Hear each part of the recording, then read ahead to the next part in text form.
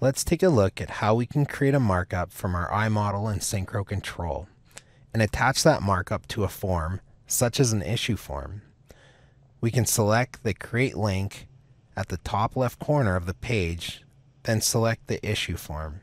Now we can fill out all the required information needed for this form and assign to the responsible team member. Let's open our model and use the markup tool to identify the info we are requiring for this issue. Once we activate the markup tool, you can see we have a few different options.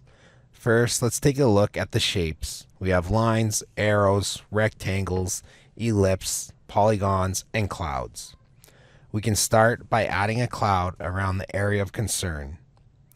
Now, we can use the measurement tool to identify the required measurements and add some notes. We can move the notes to a desired area and add the arrow to point to that measurement. We also have the freehand option to sketch as required on the model. Once complete, we can select the check mark and you will notice now that we have an attachment on our form.